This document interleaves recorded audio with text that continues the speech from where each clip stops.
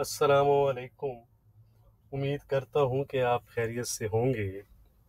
ये है जी गोल्ड का चार्ट।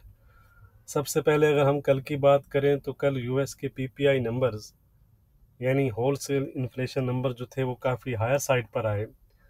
जिसके इनिशियल रिएक्शन में तो गोल्ड ने तेईस छत्तीस का लो लगाया।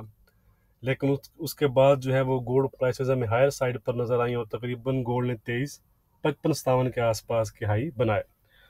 उसके बाद गोल्ड प्राइसेस तकरीबन रेंज बाउंड ही रही। लेकिन आज ओपनिंग पर गोल्ड ने तकरीबन तेईस इकसठ के आसपास का हाई लगाया है और फ़िलहाल तेईस सतावन के आसपास ट्रेड कर रही हैं। आज मार्केट में डाटा वाइज अगेन एक मेजर इवेंट है, यानी आज यूएस के सीपीआई और कोर सीपीआई नंबर्स हैं और इसके साथ रिटेल सेल्स नंबर्स भी हैं, जिसे हम दोनों नंबर जो हैं, वो हमें इन्फ्लेशनरी जो प्रेशर है, उसके बारे में गाइड करेंगे। अगर हम देखें तो core CPI numbers slightly lower side पर फोरकास्ट की जा रही है। इसके साथ रिटेल सेल्स की भी लोअर साइड पर की जा रही है। सीपीआई नंबर्स की जो है, वो अनचेंज रहने की फोरकास्ट है। सीपीआई ईयरली बेसिस पर भी लोअर साइड की फोरकास्ट है। इसके साथ ओवरऑल अगर हम देखें तो डाटा जो फोरकास्ट की जा रही है वो mix to slightly lower side पर की जा रही है, ठीक है? लेकिन आपने एक्चुअल नंबर्स को फॉलो करना है फोरकास्ट को पर नहीं जाना। कल भी अगर आप देखें तो फोरकास्ट को काफ़ी मिस किया है नंबर्स ने।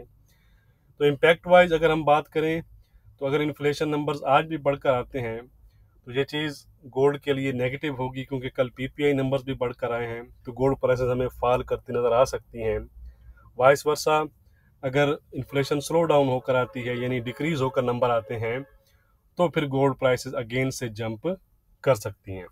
याद रहे कि ये हंड्रेड परसेंट ऐसा नहीं होता कि मार्केट जो है वो डाटा के अकॉर्डिंग ही बिहेव करे। तो इसलिए अगर आप कोई एंट्री लेते हैं तो वो एस के साथ होनी चाहिए एसएल के बगैर आपने एंट्री नहीं लेनी क्योंकि आज अच्छा मूव हमें नज़र आ सकता है। कल तो एक लिमिटेड मूव हमें नज़र आया, लेकिन आज एक अच्छा मूव जो है वो एक्सपेक्टेड है। तो गोल्ड इस वक्त तेईस के आसपास ट्रेड कर रहा है। आज इंटर डे के लिहाज से हमारा क्या रेजिस्टेंस और सपोर्ट रहेगा, वो हम देख लेते हैं। उससे पहले वीडियो को लाइक और शेयर करना मत भूला करें। डिस्क्रिप्शन जो है वो ज़रूर चेक किया करें। उसमें गोल्ड के तमाम लेवल दिए गए होते हैं। तो गोल्ड का रेजिस्टेंस है जी तेईस चौंसठ का। अगर आने वाले सेशन में याद रहे कि ये जो लेवल हैं, ये सिर्फ़ वैलिड हैं सीपीआई से पहले तक, ठीक है? सीपीआई के बाद ये वैलिड नहीं रहेंगे।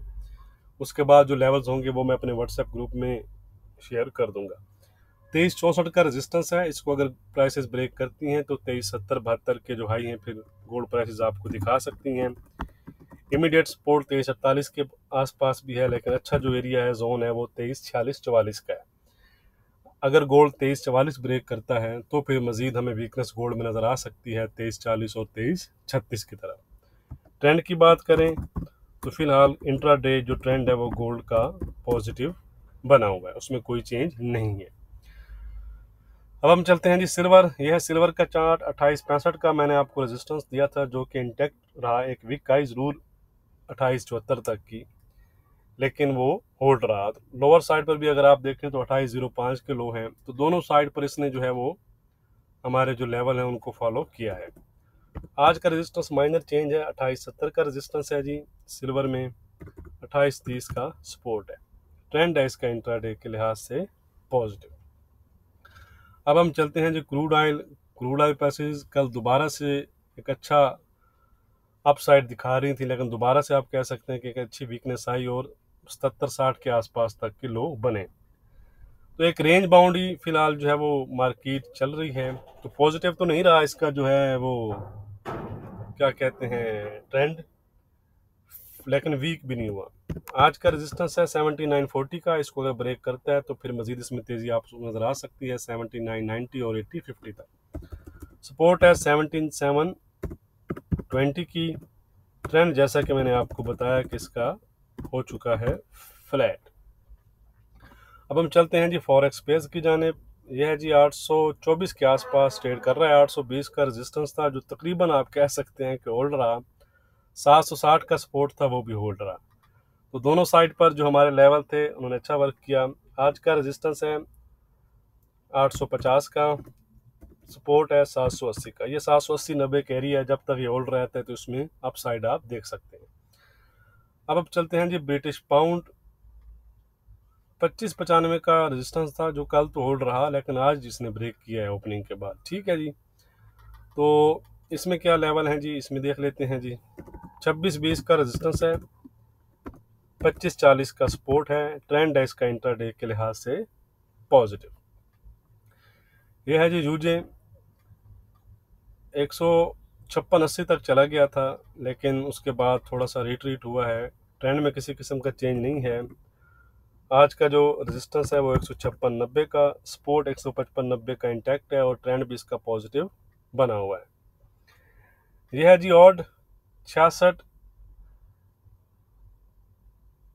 चालीस के आसपास इस टाइम जो है वो ट्रेड कर रहा है। आज का रेजिस्टेंस है, इसमें हमारा छियासठ सत्तर का, और जो कल का सपोर्ट रेजिस्टेंस था, वो आज का सपोर्ट है। ट्रेंड है इसका इंटरडे के लिहाज से पॉजिटिव वीडियो को लाइक और शेयर करना मत भूलिएगा, बहुत शुक्रिया।